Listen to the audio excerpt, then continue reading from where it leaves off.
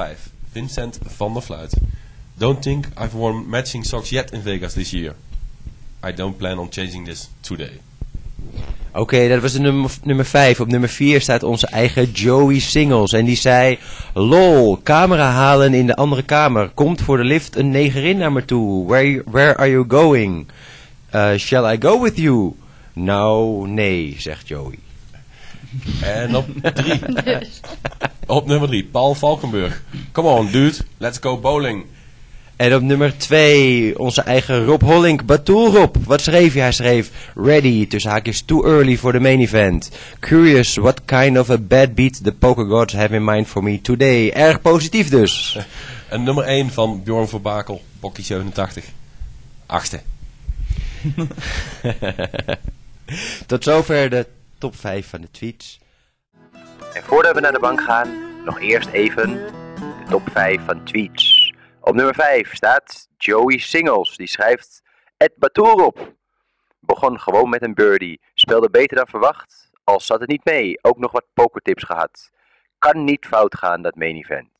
En op 4, Paul Valkenburg. Went to the Rio to switch days. Playing 1D now instead of 1C. Guess I need some more time for this hangover to be out of my system.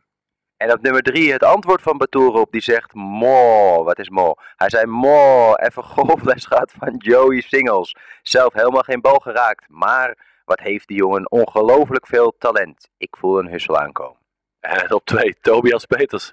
De World Series of Poker is een fantastische ervaring geweest. Helaas was het niet zo lucratief als gehoopt. Volgend jaar zeker op herhaling. En de nummer 1, Marcel Luske. Some lose all sense of reality have, have gotten used to it. It's great if it works and you can live your dream until the wake-up call rings.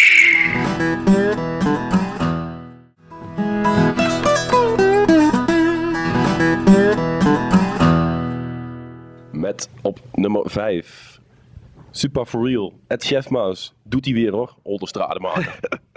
En op nummer 4, 2011 WSOP Main Event Final Number 6875 entrants with 693 spots cashing first place praise 8 million 700.000 11 956 bla bla bla bla bla bla bla bla. Dankjewel jongen voor dat ik deze tweet mocht doen. Alsjeblieft Rolf. Op nummer 3 heeft kleine toelichting nodig van onze eigen grote pitboss was gisteren gaan cashgamen. Mark Rovers op Twitter. Doodgeld in de Venetian mensen.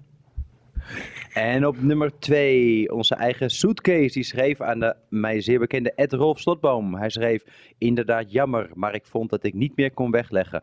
Ik ging voor Death of the Gladiols. en op nummer 1, Paul Valkenburg. My mom specifically asked me not to tweet about retards for once. Well, can't say much then I guess. Sta ik toch nog op één, hè? Tuurlijk. Ergens. Tuurlijk, wat denk jij dan? Stam erbij. Op 5, Rikus. Just ran to the toilet and didn't even miss more than one hand. Brag. Twitter heeft ongeveer 140 tekens, maar die heeft Lex niet nodig. Lex die schreef out, goodbye.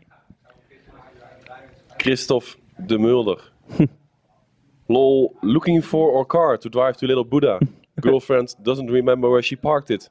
She says, I parked it in between two cars. Lol. En op nummer 2 staat Joey Singles, die altijd met eh, aparte tweets komt. Eén van die tweets is deze. Als je hier in de horeca werkt, krijg je gewoon geld om je tieten te laten doen. Het wordt helemaal stil ineens achterin. Als je hier in de horeca werkt, krijg je gewoon geld om je tieten te laten doen. Zoals het hoort dus. In Nederland snappen ze er niets van. Cup idee. Is dat 140 En op nummer 1, en op nummer 1. Ja, nummer 1 gaat over. En op nummer voor het één? Eerst dat er twee tweets in één bericht staan. Nummer 1 is van Rob Holink. Holink, moet ik zeggen. Komt hij aan, hij is lang, hij is lang. I hope when I grow up someday, I will have enough brains not to spoil my time anymore in tournaments. But when 49 years aren't enough, I'll probably never reach an age old enough to say I'm grown up now. Dat waren Even dus een moment van stilte, iedereen denkt hier nu over na. even een moment van bezinning voor Rob Holling. Luchtiger. Top 5 van de tweet.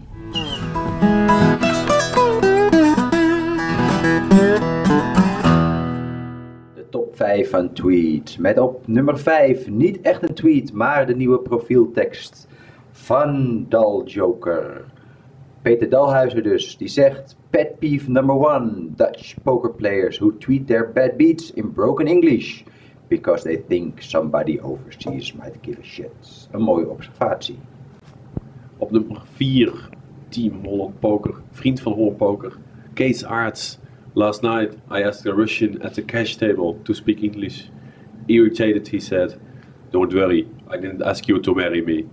En ook iemand die elke top 5 terug lijkt te keren. Onze eigen Joey Singles. Die zegt...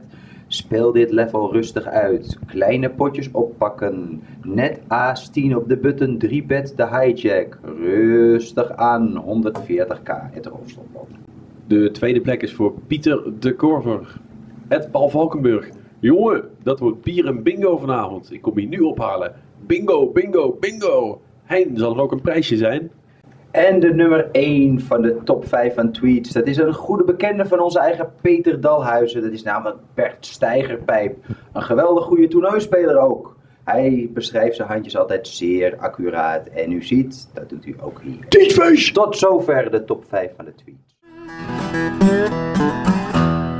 Op nummer 5, Vincent van der Fluit. Booked a small detour San Francisco for a couple of days. Hippies, here I come. En nummer 4, een, eh, een buitenlandse gast in de top 5 van tweets. Dat is niemand minder dan Phil Helmuth.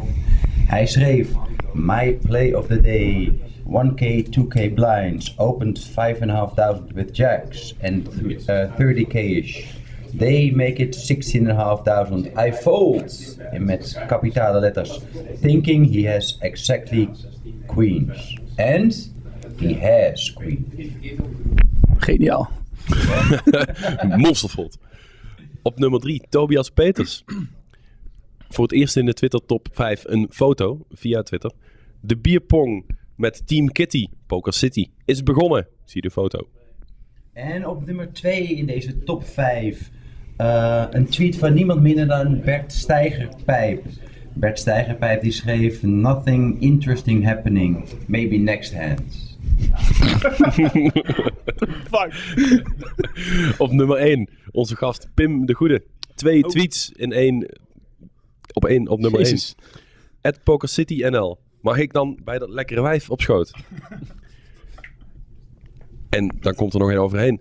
At Poker City. Ik had het trouwens over Rolf.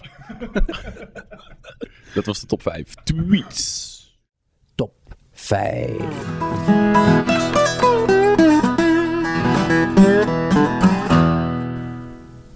De top 5 van de tweets dus. Met op nummer 5 de onfortuinlijke bust-out van onze eigen Bert Steigerpijp. Dit was zijn reactie toen het misging. En dit was zijn uiteindelijke conclusie. I hate poker. Op nummer 4, Jasper Wetemans. Dat is pas een bad beat. Burgertje bestellen bij de In-N-Out Burger. Nummer 64 toebedeeld krijgen. En dan nummer 18 omgeroepen horen worden. Dat is inderdaad een behoorlijke bad beat. En op nummer 3, hier in de studio geweest bij ons, Vincent van der Fluit. Wat schreef hij? Hij schreef, I also turned down the hottest two chicks ever. Cause I had a dark brown suspicion. Dus haakjes Dutch expression. They flirt for a living. Fucking Vegas. Op nummer 2, ook al hier te gast geweest. Pim de Goede. Cameras at my table. Don't touch my nose.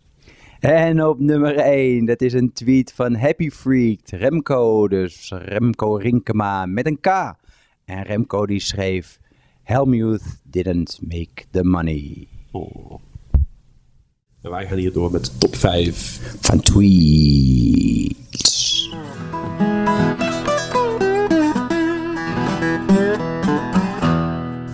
Top 5 van tweets dus, met op nummer 5. Frank Op de Woerd, webjoker, hij zegt... Made a bet with Ed Ruben RTV about the age of Ed's Ellen Cunningham. I took the under on 35. Ed Kevmeth didn't know, but I was right. Ship it. Zie je? Goed wedden met webjoker. Zeker weten. Op nummer 4, Suitcase, Kees Aarts. Hoe komt het toch dat de schutmachines hier in Vegas probleemloos werken, terwijl er in het HC altijd problemen mee zijn? En op nummer 3, daar staat Ellen Cunningham. Cunningham die schreef... Calling with small pairs, hoping to make sets is overrated. You never flop one, and when you do, you never get paid off. Nummer 2, Cyril Dome, super for real. My body is giving signals. Go sleep, stop drinking. But my mind is stronger. En op nummer 1, daar staat Ruben Visser, Ruben RTV. Hij had het er net al over. Hij schreef: Just did something stupid. Look at me on ESPN 3. Dat was de top 5 tweets. Lijkt mij voldoende reden om over te gaan naar ons mooie onderdeel in dit programma: de top 5 van de tweets.